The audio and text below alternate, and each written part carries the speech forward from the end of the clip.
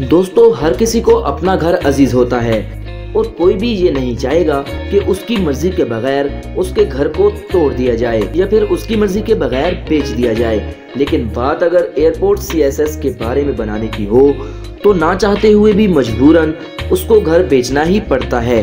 मगर आज हम आपको कुछ ऐसे जिद्दी मालिक मकान से मिलवाएँगे कि जो इस सूरत हाल में भी अपने फैसले पर डटे रहे और बड़ी बड़ी ऑफर्स के बावजूद भी अपने घरों को ना बेचा।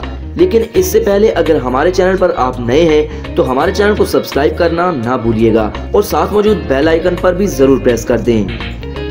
स्ट्रेइंग फ्री दोस्तों, अगर आपके छोटे से घर को कोई मिलियंस ऑफ़ डॉलर में खरीदना चाहे तो आपका रिएक्शन कैसा होगा? मगर एक वक्त था कि डाउन वाशिंगटन में प्रॉपर्टी के नाम आसमान को छू रहे थे और कंस्ट्रक्शन का काम भी काफ़ी तेज़ी से जारी था।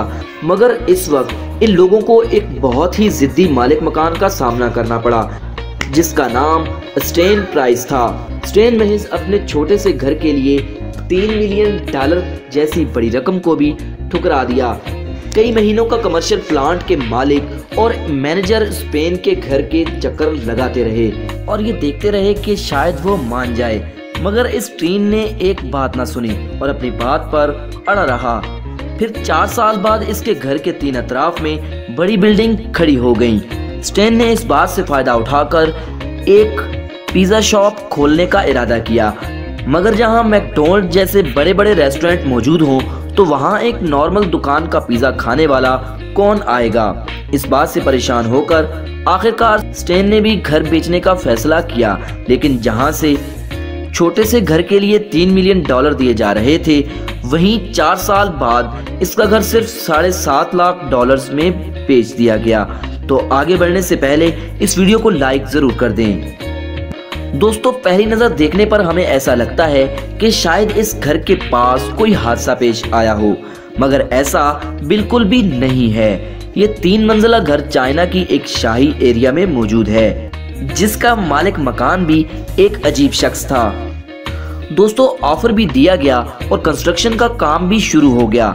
सब लोग अपना घर बार बेचकर यहाँ से चले गए मगर जीना अपने घर को किसी भी कीमत पर छोड़ने को तैयार ना हुआ। इसे सबक सिखाने के लिए बिल्डर्स ने इसके घर के चारों अतराफ एक बहुत बड़ा गड्ढा खोद दिया, जिसे घर का पानी और बिजली का कनेक्शन भी काट दिया गया और इनको दो साल तक हुकूमत ने समझाया और 50 मिलियन डॉलर की ऑफ़र भी दी। मगर इसने ये सब ऑफ़र ठुकरा दी और ये बिल्डर्स को किसी लकड़ी में लगे कील की तरह चुप गया। और इसी वजह से इस घर का नाम भी लिहाज पड़ गया। बाद में अपने घर में चाइना का झंडा लगाकर इस पर जात के खिलाफ आवाज़ उठाई और आखिरकार जीना को इस बार हारना ही पड़ा। और कहा जाता है कि ये और इसकी बीवी आज भी इस घर में रहते हैं। ये लोग नदी से पानी भरकर लाते हैं और बिजली के बगैर ही रहते हैं। दोस्तों, खुदा ना करे किसी के घर ऐसा हो। लेकिन अगर कोई आपके घर के बदले 10 करोड़ देने को तैयार हो जाए तो आप क्या करेंगे? अपनी राय का इजहार कमेंट सेक्शन में ज़रूर कीजिएगा। ट्यूबोजिन दोस्तों, अगर बात किसी हाईवे की हो, लेकिन सड़क के दरमियान में एक पाँच मंजिला मकान खड़ा हो तो आपको कैसा लगेगा? और ऐसा ही एक वाक्य चाइना में भी पेश आया। 2011 में चाइना के शहर लंदन में एक बुज़ुर्ग जोड़े ने इस वक्त अपना घर बेचने से इनकार कर दिया, जब वहाँ गवर्नमेंट की तरफ़ से हाईवे बनाई जा रही थी। इसके आसपास के सभी लोगों ने अपने घरों को बेच दिया, मगर इन लोगों का कहना था कि गवर्नमेंट इन्हें बहुत ही कम पैसे दे रही है। खुशकिस्मती से चंद महीने पहले ही चाइना में ये एक पास हुआ था कि हुकूमत किसी की मर्ज़ी के बगैर उनके घर नहीं ले सकती। तो इसीलिए गवर्नमेंट ने इन्हें थक हार कर इसके इर्द गिर्द हाईवे बना दी। और अब ये पाँच मंजिला घर इसी हाईवे के बीचों बीच खड़ा हुआ है और गाड़ियों को इस घर से घूमकर जाना पड़ता है।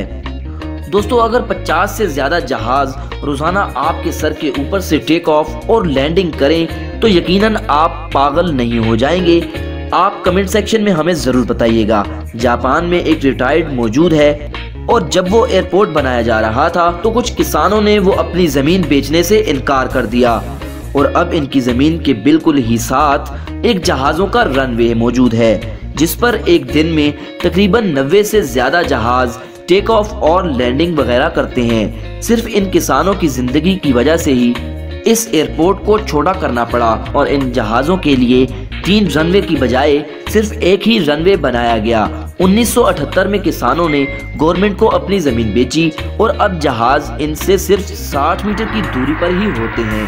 अब आप सोच रहे होंगे कि इन जहाज़ों की आवाज़ से तो ये पागल हो जाएँगे, मगर लोगों को अब इस चीज़ की आदत हो चुकी है। चाइना में आबादी ज़्यादा होने की वजह से वहाँ की गवर्नमेंट डिग्री मिनट के काम पर काफ़ी ज़्यादा तवज्जो दे रही है, जिसके इर्द गिर्द बहुत ही खूबसूरत रोड मौजूद हैं। ये हाईवे इस फॉन्ट की जगह पर बनी थी। मगर यहाँ रहने वाली तीन फैमिलीज़ ने अपने फ्लैट्स को बेचने से मना कर दिया। दोस्तों, बहुत ही कोशिशों के बाद भी इस बिल्डिंग को खाली ना करवाया जा सका, जिसे बिल्डिंग का काम दो गुना हो गया। क्योंकि अभी हाईवे सीधी नहीं हुई, बल्कि इस बिल्डिंग के इर्द गिर्द 360 डिग्री का फ्लाईओवर बनाना पड़ा। सिर्फ़ इसी घर की वजह से ट्रैफ़िक को यहाँ से एक बड़ा गोल चक्कर लगाना पड़ता है।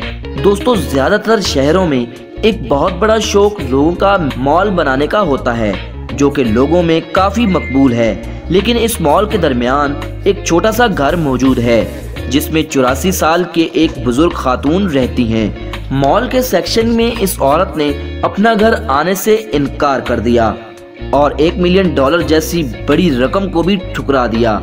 फिर मजबूरन बिल्डर्स को इस घर के इर्द गिर्द मॉल बनाना पड़ा और फिर मॉल बनने के एक साल बाद मॉल के मालिक और इस बुज़ुर्ग की अच्छी खासी दोस्ती हो गई।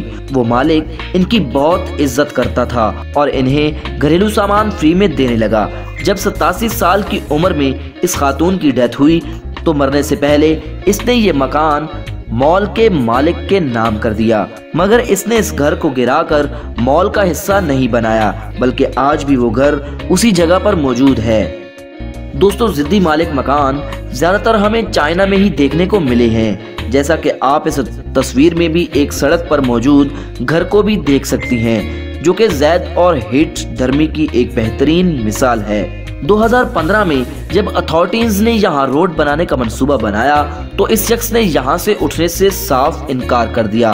रोड मुकम्मल हो गया, मगर इस घर को गिराया ना जा सका और गाड़ियाँ इस घर के इर्द गिर्द से गुजरने लगी।